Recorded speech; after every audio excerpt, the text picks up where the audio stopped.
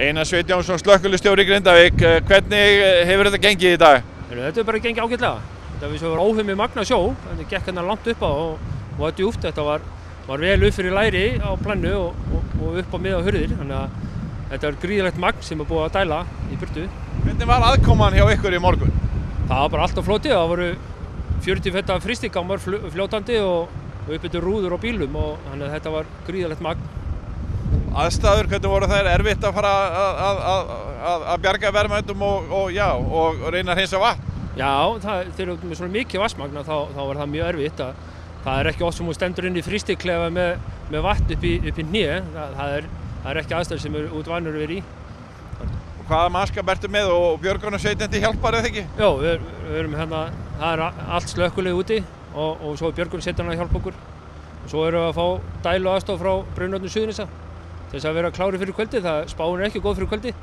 Þannig að það má búist að gangi aftur á landan við erum aðeins að bæta í dælu máttin þannig að við missum ekki sjó inn aftur sko.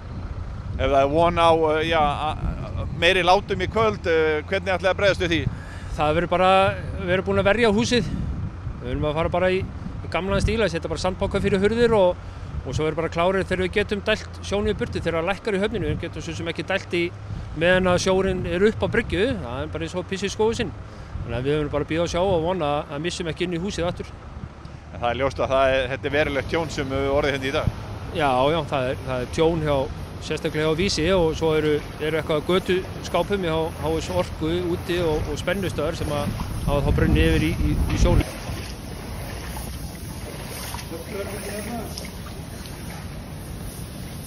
Sleppur hérna. Sleppur hérna.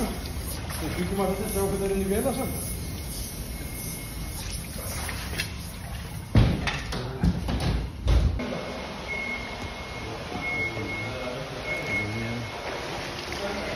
Þetta er búið að vera annars saman dagur hjá okkur, hvernig hefur þetta gengið? Þetta hefur bara gengið ágætlega sko, svona framan af allavega. Hérna, aðjá, við vorum svo sem aðið allan nótt og, og mættir aftur snemma í morgun og það búið að nú að gera.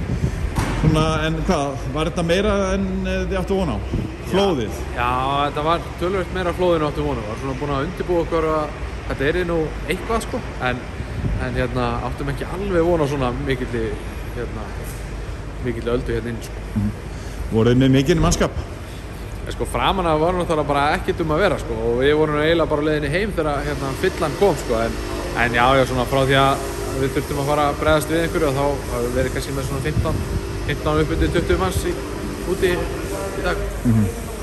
Og uh, já, spáin er nú ekkert mjög spennandi áfram. Uh, hvernig hafið þið gert ykkur ráðstafanir með, uh, næst, já, í dag eða kvöldu á morgun?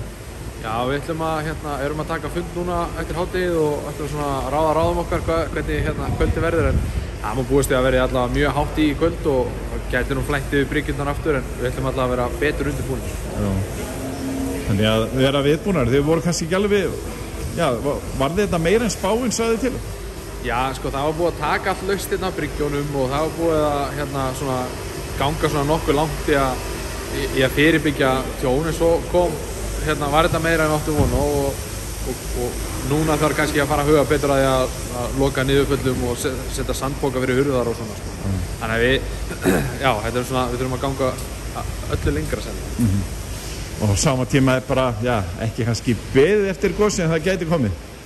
Það gæti komið, það var einmitt, það var einmitt fundur um hérna jarðhæningarnar í morgun á sama tíma og, og hérna, já já, þetta, þetta bara hangir yfir okkur og það er allavega nóg til að borða hérna í húsinu og við erum að kera um varafli og svona þannig að við bara, það, verkefni koma bara, það verðist vera.